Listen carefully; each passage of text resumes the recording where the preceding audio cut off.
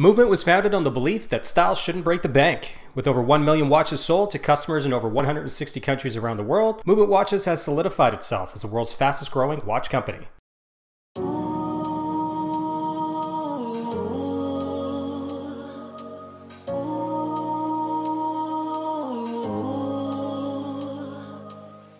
For more car photography videos and tutorials, please subscribe at the link below follow me on Instagram at Tom England Photo. All right, folks, welcome back. Uh, in this latest video, we're going to look at using a circular polarizer for car photography. So what it's going to do, it's going to allow you to reduce the reflections on the cars and see through the windows. So the first thing we're going to do is we're going to take both of these photos and take them directly into Photoshop. So we're going to select the two and edit as layers in Photoshop. Uh, we're gonna align the layers themselves and we're gonna paint the blend. So what we're gonna do is use a mask to get rid of the portions of the layer that we do not want. We're gonna do some general cleanup and then we're gonna take it back into Lightroom to do some Lightroom edits and then finally back into Photoshop to do some final touches. So with the polarizer itself, um, you can get a, a, a, quite a variety of different polarizers. Now this one I picked up, it's an Amazon Basics one. It cost me around 20 or $25. If you do get this one, I think with any polarizer, do not screw it on too tight. Uh, if you do that, uh, it is almost impossible to get off your lens and you don't want to do any damage to your lens. Here are the two photos we're going to be blending. So all right, getting started. So what we're going to do, we're going to zoom in, just show you a little difference here. So this is uh, rotating this uh, the polarizer, and you can see with the reflections, it didn't reduce them completely. Uh, you can do that, but uh, with this photo, it did not. But it did reduce them quite a bit. And with the windshield, um, obviously one you cannot see through at all. It's almost 100% reflected. Uh, but with the other photo, um, we can see directly through it. So we're going to take both. We're going to select both photos and we're going to edit in and open as layers in Photoshop. And here in Photoshop, here we have the two. Uh, and with both layers selected, we're going to go to Edit and down to Auto Align Layers. Selecting Auto is fine. It will hit OK. And the reason I do this is because when you rotate the, uh, the polarizer itself, it can slightly adjust the uh, the range of your lens itself and it can be slightly off. So, all right, great. So these are aligned. And for the first thing we're gonna do, now we're gonna add a layer mask to the top layer.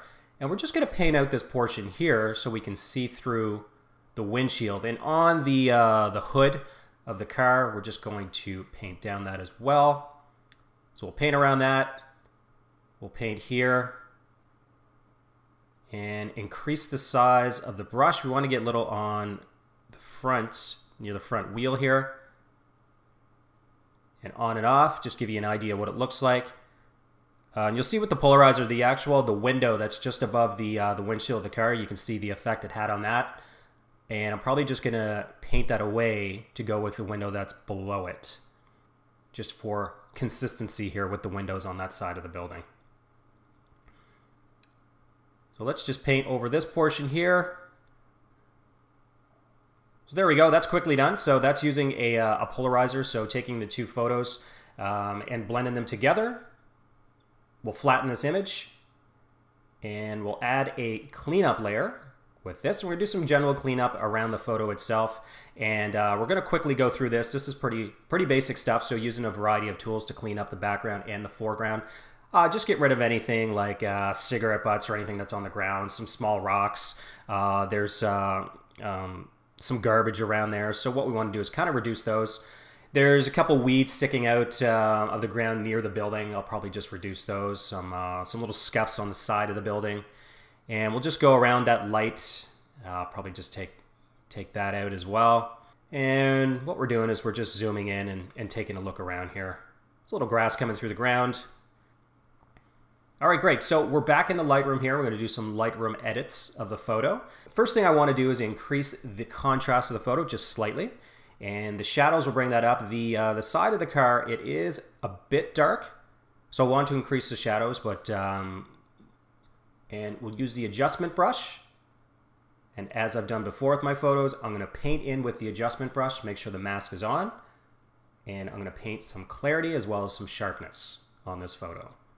Oops, got the temperature on there. Don't want that. Reduce that temperature. All right, great. So we're just painting around here. And after I paint with the mask on, it sometimes can miss some portions that are within the car and around the wheels because of the difference in the contrast. So I'll take the mask off and just paint within the car here. Not getting close to the edges. I don't want it to bleed over the edges. Okay, with a new brush, I'm going to increase the shadows, and this just is on the side near the bottom portion of the car. It just brings it a little bit, makes it more even uh, with the top of the car. And we might as well click Remove Chromatic Aberration. I don't think there's much in this, but we might as well click it on.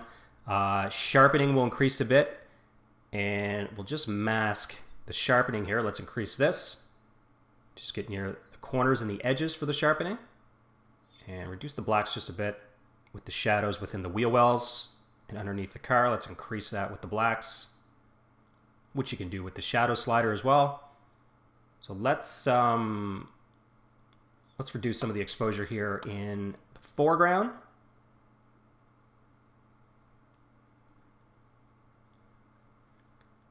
We'll take it back into Photoshop and we want to fix the perspective here of the photo. One side is straight, the other side is not 100%. So what I did is I uh, turned the grid on here to take a look so I can see where the lines are. And what we'll do is we'll select the entire image.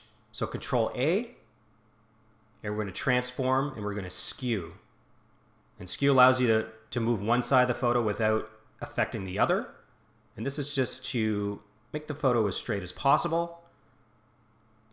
And I'm actually going to pull this down just a bit. This will be very slight.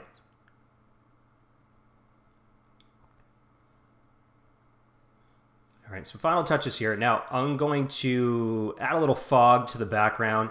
And the purpose of this, this is going to be reduced quite a bit, but I just want a little separation uh, from the car in the background itself. This is adds a little atmospheric separation with this.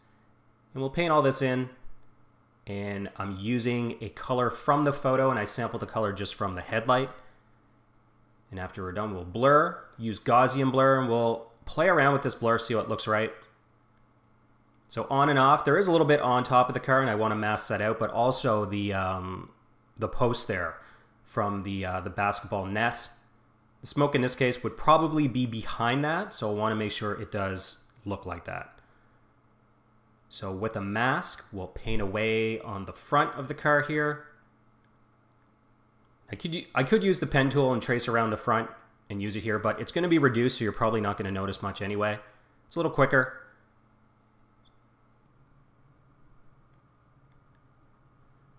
I'll make a selection around this post. Feather the selection just a bit. Two pixels is fine. And I'll just paint over this. Okay, good. So that's pretty good. I'm probably going to reduce the opacity here on this fog. It's a little too much. Start with zero. And like I said, I just wanted a little separation from the car and the background. And a couple final steps here. I'm going to do a slight curves adjustment. Adds a little contrast to the photo. And it does add that final bit of contrast to the photo. And finally, just a bit of levels. So Control L to bring levels up. We'll just increase the blacks here. One or two pixels will probably be fine. So thanks very much for, uh, for watching the video, and I'll see you again in the next video.